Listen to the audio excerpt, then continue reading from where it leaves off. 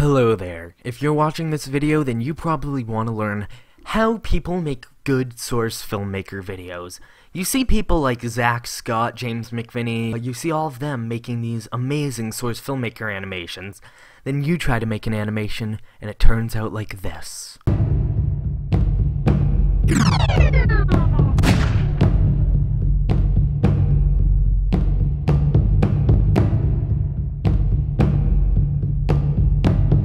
Don't worry, that's a common problem. It's because there's a lot more to making a source filmmaker video than just being an animator. So what you need to do is you need to name the session SFM underscore automatic. Okay, so this is very important. It's um something that has to be in there. So now you click the create button. Now you'll see it says no map loaded. First you need to load a map. Now you can do that by pressing Control and L at the same time. Now, you probably see all of these complex things in their videos. In all reality, they're actually on Black Void.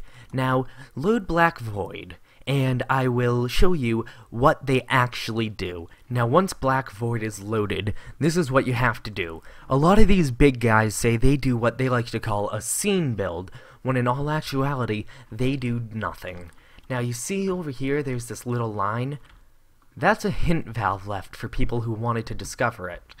That little white line is actually my camera. Now you see the camera on this map is a bit weird. It defaults out in this little box here. So what you need to do is when you're in this little box, you have to go to the animation set editor and create a new model. Now, this model has to be under TF Movies. You click on TF Movies, then you scroll down. First you click on the props underscore mining rock 001. Then if you scroll up to the top, click on box.mdl. Now you see, this is empty. Nothing's appearing here. There's a reason for that. This was actually something special Valve put in place. The model doesn't appear, but it changes a setting in the source filmmaker that makes amazing things happen. Now, once you've clicked on box.mdl, spawn the model, and you saw source filmmaker lag for a second there, but nothing appears here. Now what you need to do is go into the element viewer, then click Settings, Movie Settings, and now you see it says SFM Make Film. When I spawned the box, after clicking the rock, it added this setting into the element viewer called SFM Make Film. So what you have to do is click SFM Make Film, and then go over and then click this little checkbox here. This checkbox is what they don't want you to know about.